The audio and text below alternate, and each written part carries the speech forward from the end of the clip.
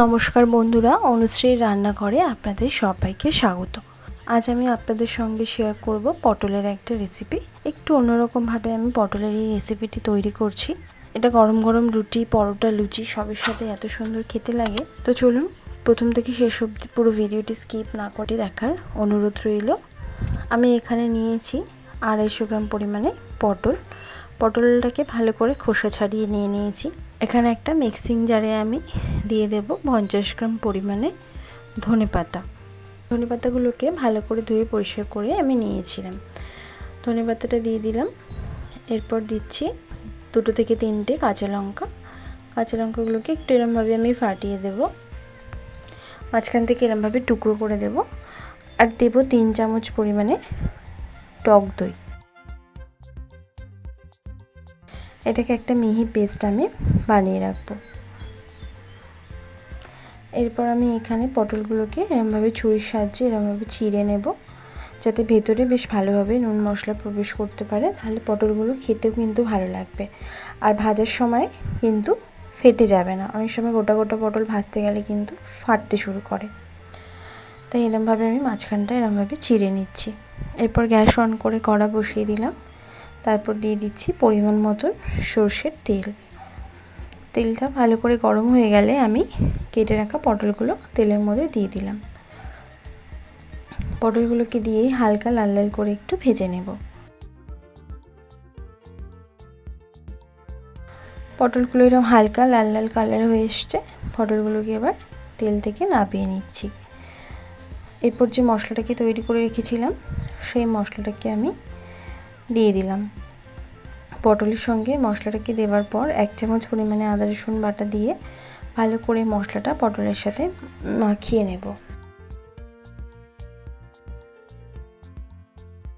মাখিয়ে এটাকে আমি দশ মিনিট রেস্টে রেখে দেবো ঢাকা দিয়ে। এরপর আবার গ্যাস অন করে কড়াতে আমি দিয়ে দিয়েছি পরিমাণ মতন তেল। তেলতে ফোড়নে দিলাম হাফ চামচ পরিমাণে গোটা জিরে আর দুটো ছোটো এলাচ।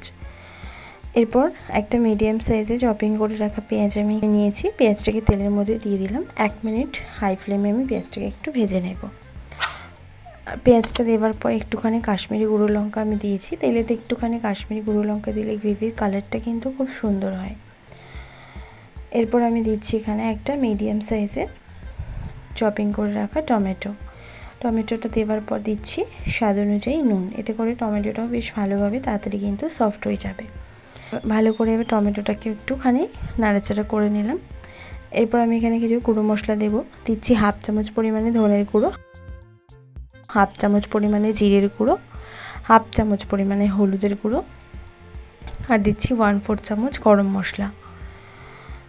আমি মিক্সিং জার ধুয়ে হাফ কাপ মতন জল আমি এখানে ব্যবহার করলাম।